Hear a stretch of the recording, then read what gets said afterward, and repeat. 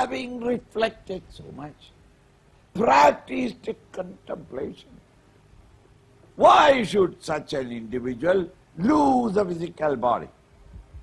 Another 10 years more. What is nature going to lose? Had he got a little more time, he would have reached.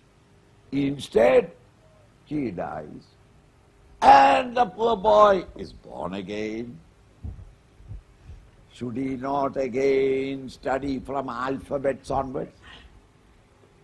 Grammar, the language, then enter the Upanishads and the Ramayana and Bhagavad or whatever the scriptural textbook, then hear all about it from the teacher, then reflect upon it. Unnecessarily, 20, 30 years have been wasted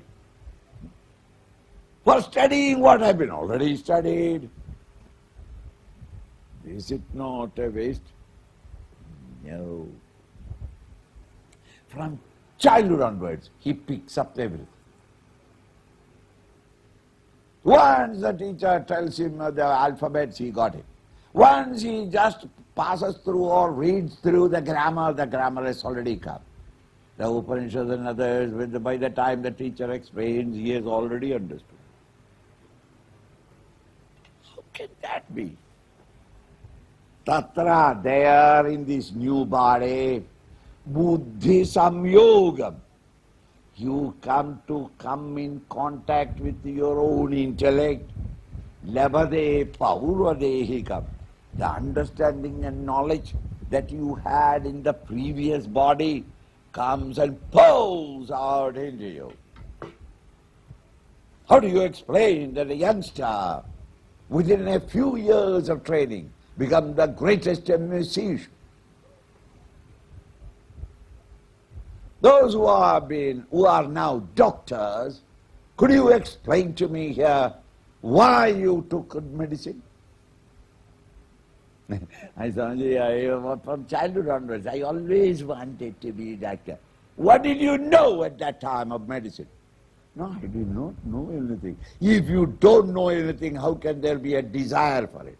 No, I didn't know it, but I always wanted to be a doctor, isn't it? I always wanted to be a, a journalist, or an engineer, or an actor. you may not remember the details of the previous life. Who was your wife? How many children you had? These details you don't remember. But you have that knowledge. You have only to be reminded that some people have got that fascination to study science. Others are there that however much you may try to teach him science, science will never go in. Some are born with that instinct for mathematics. I am one of those who had never done mathematics in any of my previous life. Why? I don't know what exactly is 2 plus 8. I got a doubt, 11 or 12. I can't. While there are people who can remember all high uh, phone number. There are others who can only mathematics from morning till evening. They are fascinated by it, enchanted by it.